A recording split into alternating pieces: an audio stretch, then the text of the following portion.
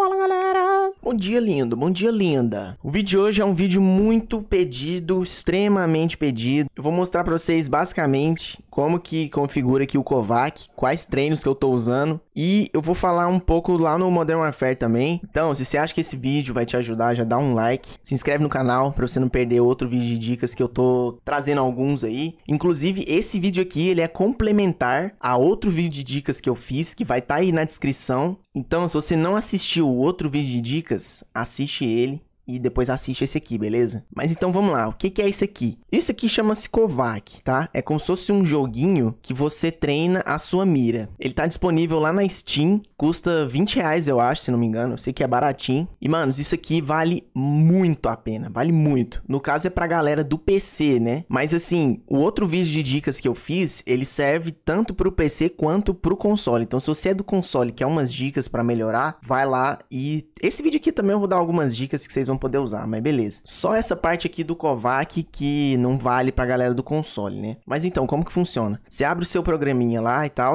aí você vem aqui nas configurações, ó. Escala de sensibilidade aqui, ó. Aqui você coloca a sua sensibilidade no jogo. Não tem COD, tá vendo? Não tem Warzone, não tem nada.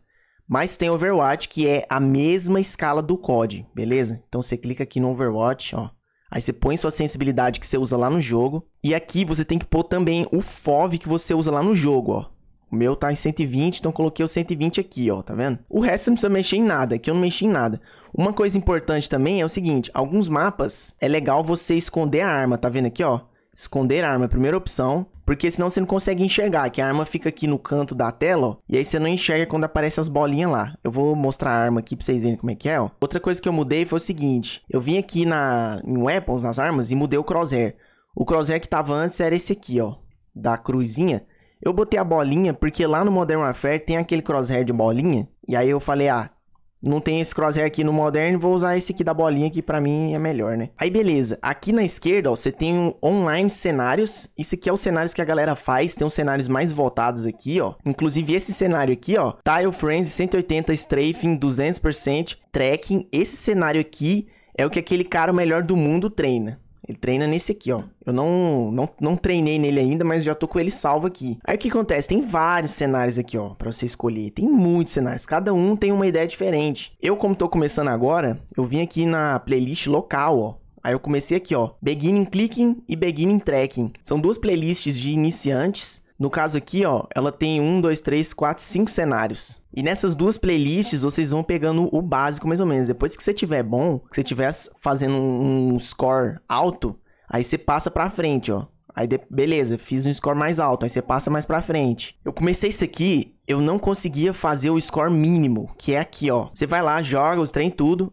aí aparece o seu score aqui, ó. Ó, se eu der dois cliques aqui, ele vai mostrar meu score lá em cima, ó, tá vendo? A média é 2.500 eu tô fazendo 4,600. Ou seja, eu tô quase que o dobro da média, entendeu? Mas antes eu não conseguia ficar na média não, velho. Outra coisa extremamente importante que eu descobri, assim, descobri nada, estudei sobre isso, assisti uns 500 vídeos de um monte de cara falando sobre mira, é o seguinte, para você ter o tracking muito bom, para você conseguir fixar a mira no seu inimigo, você tem que prestar atenção aonde que você tá olhando.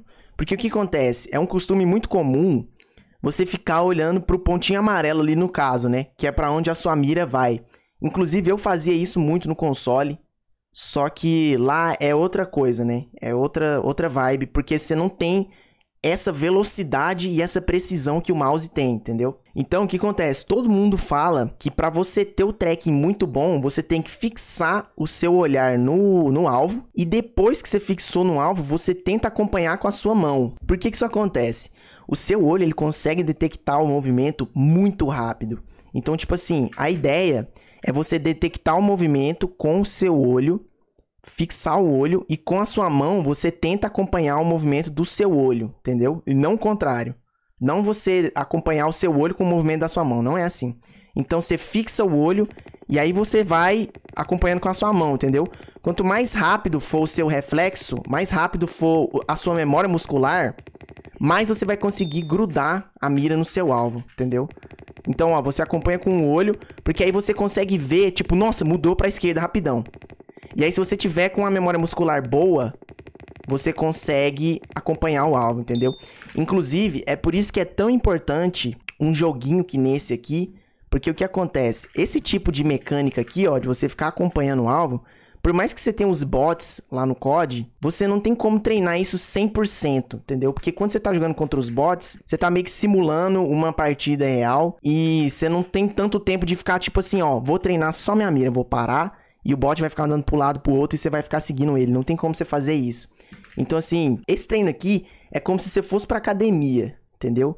É como se você estivesse criando músculo no seu braço, nos seus dedos, o músculo necessário para você fazer o movimento certo na hora certa, entendeu? Por isso que eu achei extremamente fantástico esse programinha aqui. E eu acho que ele vai ajudar muita gente por causa disso. Então, aqui é muito mais fácil de você criar a memória muscular para você fazer um flick, para você acompanhar o alvo, entendeu? Então, assim, por isso que eu acho extremamente importante vocês usarem algum tipo de treino de mira, que nem esse aqui, né? Tem algumas outras opções aí, tem alguns que são gratuitos, tem outros que são pagos também. Por enquanto a gente não tem no console, mas eu já vi esses caras falando, esses caras desse joguinho aqui falando que tem intenção de trazer pro console. Só não tem uma previsão ainda, né? Mas algum dia deve sair alguma coisa nesse tipo para console. Mas então, o principal do tracking é esse: você acompanhar com o olho. Você tem que saber a velocidade que você tem que mexer sua mão para você ficar na mesma velocidade que o bonequinho e quando ele faz um movimento muito brusco, você tem que rapidamente mexer a sua mão para ir em cima dele, entendeu? Quando ele faz um movimento bruscão assim, você vai rápido para você voltar para cima dele. Então é basicamente isso do tracking. Bora pro clicking agora que eu vou mostrar para vocês como é que funciona. Aqui na playlist de clicking, a gente tem alguns cenários diferentes. Esse aqui, por exemplo, ó, você tem que ficar tirando nas bolinhas. E aí ele preza muito mais pela precisão do que pela velocidade. Então assim, Óbvio que você não vai ficar muito devagar, mas você também não vai sair que nem um louco assim, ó, errando os tiros tudo. Uh, uh, uh, porque aí você não vai ter uma, um resultado bom, entendeu? Então, ó, você vai mais devagar na sua velocidade que você conseguir e você vai tirando nas bolinhas. Isso aqui é muito bom se você tiver com a sua sensibilidade dominada já, entendeu? Por isso que eu falo que não é bom vocês ficarem trocando de sensibilidade toda hora. Então, se você já tá com a sensibilidade boa, você consegue fazer isso aqui mais fácil.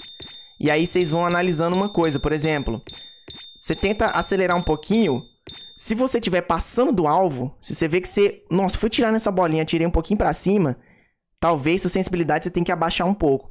E se você vai acertar o alvo, mas você atira para baixo antes, você atira antes do alvo, talvez você tenha que aumentar um pouquinho sua sensibilidade, entendeu? Esse treino aqui no caso, ele não tem tanto segredo, ele é mais o domínio da sensibilidade, quanto você domina a sensibilidade e precisão. Então, assim, não tem muito o que falar sobre isso aqui. É basicamente você ficar jogando aqui e tal, que você vai melhorar a sua precisão e o seu domínio da sensibilidade, entendeu?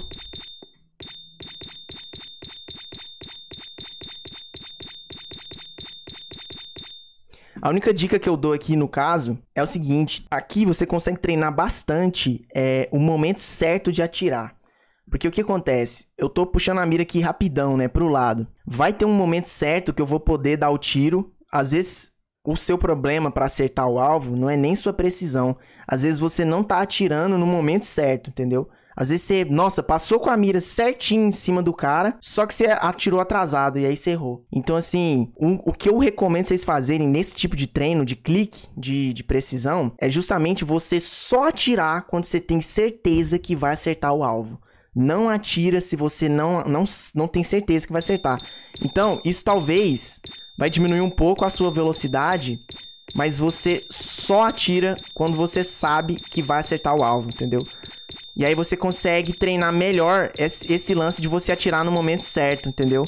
Que é um problema que muita gente tem.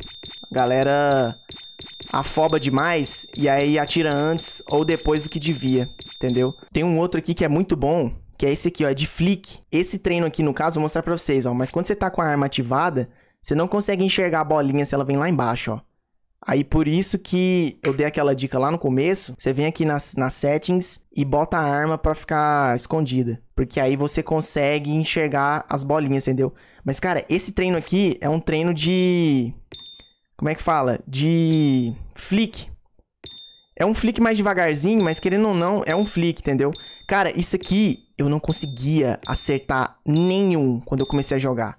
Sério, a primeira vez que eu joguei isso aqui, De tipo, 100 bolinhas, eu acertei 4, velho. Foi tipo, eu fiquei assim, mano, isso é impossível, cara. Agora, como vocês estão vendo, eu consigo até que acertar algumas, a maioria. Como eu tô conversando aqui, não tô concentrado, eu acabo errando umas, mas assim, eu consigo acertar muito mais do que eu conseguia antes de fazer isso aqui, entendeu? Então esse treino aqui eu acho bem da hora para quem tá começando. E aí no, no lance você volta no começo, porque como você tá treinando flick, o flick você sempre parte de uma posição central, assim, da sua mira, né? Mas é basicamente isso aí. Aí beleza, depois que vocês fizerem todos esses treinos aí, vocês vêm aqui pro COD e vocês façam aquele treino que eu mostrei no outro vídeo. Então por isso que é extremamente importante que vocês assistam o outro vídeo, porque esse vídeo é complementar àquele, entendeu? E aí, quanto, tem... ah, quanto tempo eu tenho que ficar treinando lá no, no Kovac? Cara, depende muito. Tipo assim, não tem um tempo certo, sabe? É, o que eu notei que faz a maior diferença de todas não é tipo quanto mais você treina, e sim a frequência que você treina. Então, cara, não importa se você treina duas horas, se você treina meia hora, o que importa realmente é se você treina todo dia. Então, todo dia você entra lá um pouquinho antes de você jogar e você faz esse, esse aquecimento, você faz esse treino. Cara, vocês vão melhorar absurdamente, velho. Vai ser insano a melhora que vocês vão ter. Aí, depois que vocês fizerem tudo isso lá, é o começo daquele vídeo lá que eu fiz. Vocês vão treinar movimentação aqui, ó. Você vem para uma sala privada e você treina a sua movimentação. Você fica, ó, deslizando, pulando, ó, deslizando, pulando, movimentando pro lado, ó, deslizando pro lado. Todo, todos esses treinos vocês vão treinando. Ah, Corvo, como que faz isso? Eu não sei fazer isso. Muita gente fica perguntando também, já ensinei no console, vou, já ensinei no PC também, mas eu falo aqui de novo, porque vocês são desesperados, né? Cara, tem duas formas principais de fazer o slide cancel. Uma é você desliza, puxa a mira e corre. Desliza, puxa a mira e corre. É assim que o Nine faz, ó. Desliza, puxa a mira e corre. Desliza, puxa a mira e corre. Eu não gosto muito dessa, dessa forma porque ela depende muito da arma que você tá usando.